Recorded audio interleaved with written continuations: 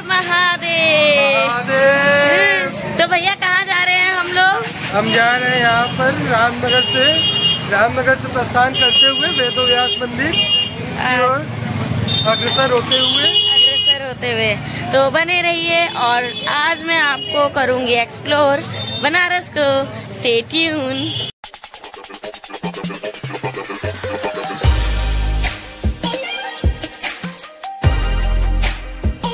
ये मौसी और मम्मी बार्गेनिंग करते हुए। बेलपत्तर अच्छा छांट के दीजिए। दिखा दूँ हेलो हम्म, ये है जयश्री मेरी भतीजी। आप देख सकते हैं मंदिर और ये लाइन ये लाइन देख सकते हैं आप कहाँ तक लाइन है ये? बहुत ज़्यादा लाइन है शायद अंदर के दर्शन नहीं करवा पाऊँगी क्योंकि बहुत ज़्यादा भीड़ है। मेरे को मोबाइल रखना होगा अंदर। हम इसके दर्शन करने के बाद मिलेंगे।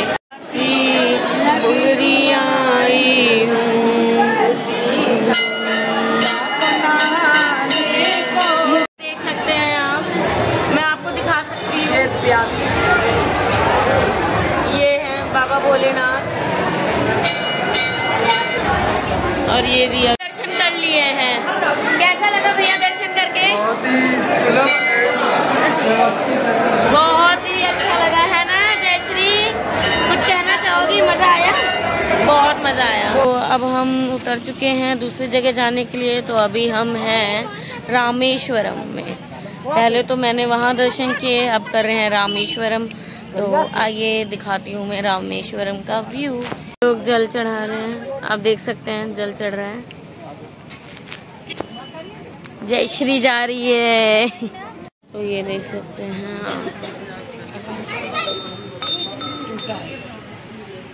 हैं, बाबा भोलेनाथ। ब्रिज रामनगर का ब्रिज है ये। तो अब हम जा रहे हैं, जैसे कि शिवरात्रि है तो अब हम लोग जा रहे हैं संकट मोचन और आपको पता है कि बनारस में संकट मोचन की बहुत मान्यता है। अगर नहीं पता है तो मैंने आपको बता दिया कि अगर आप बनारस आए तो संकट मोचन भी ज़रूर आए और आप ये ब्रिज देख सकते हैं। और आप भोजपुरी लैंग्वेज भी सुन सकते हैं।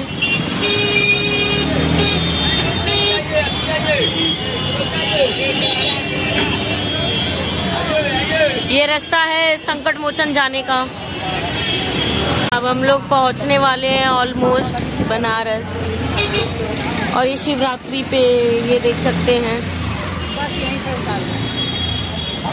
तो अब हम लोग पहुँच चुके हैं संकट मोचन आपको मैं दिखा दूँ। पहुँच चुके हैं संकट मोचन और मैं बहुत एक्साइटेड हूँ संकट मोचन जाने के लिए। चीज़ और बता दूँ, संकट मोचन में मोबाइल जमा हो जाता है तो मैं वहाँ पे वीडियो तो नहीं बना पाऊँगी मंदिर में, पर जो भी मैं थोड़ा बहुत दिखा पाऊँगी, वो पूरी पूरी कोशिश रहेगी, पर मोबाइल हो जाएगा जमा तो चांसेस कम है कि मैं आपको दर्शन करके आ गए हैं, और मेरे पास मेरा मोबाइल आ गया है तो मैं एक बार जितना हो सकता है उतना आपको दिखा दिखा सकती हूँ थोड़ा बहुत, बाकी तो अंदर तो अलाउड है नहीं। सकते हैं मुख्य द्वार संकट मोचन का। और ये है एंट्री ऐसे जाना है। मैं अब आपको बाबा भोलेनाथ की बारात में लेके जाऊँगी। जी हाँ शिवरात्रि पे भोलेनाथ का जाता है बारात। तो क्यों ना बनारस में आई हूँ तो आपको बारात में शामिल किया जाए। राइट तो चलिए, होते हैं शामिल शिवरात्रि पे बाबा भोलेनाथ के। ये घोड़ा।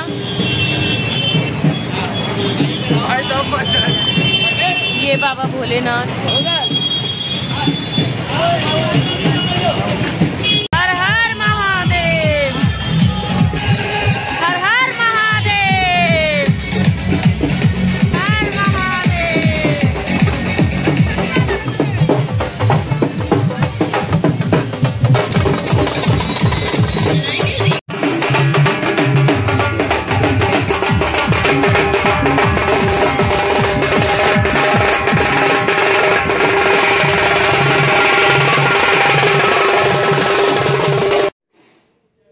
ये मेरी नेहा कज़न है, मेरी मौसी की बेटी जो मुझे टीका लगा रही है महादेव का। और हम लोग तैयार हो रहे हैं उनकी शिव भगवान की शादी में जाने के लिए और आप ये टीका देख सकते हैं।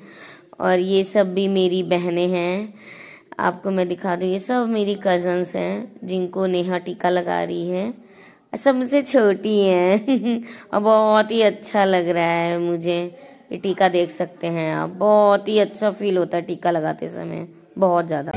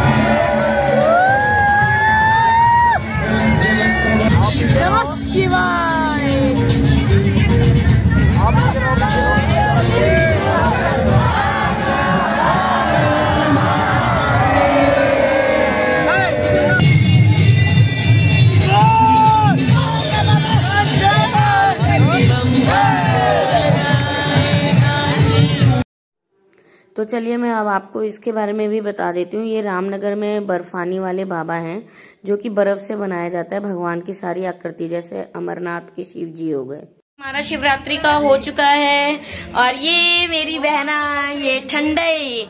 आप ठंडई ना पिए तो कैसे मज़ा आएगा, है कि नहीं बाबू? बोलो। हाँ।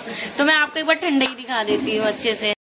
तो ये अब महाशिवरात्रि पे ठंडई पीते हुए चलिए अब मिलते हैं हम अपने नेक्स्ट ब्लॉग में। बाय हमारे बनारस की शिवरात्रि का बारात कैसा लगा आप ज़रूर बताइएगा कमेंट्स करके।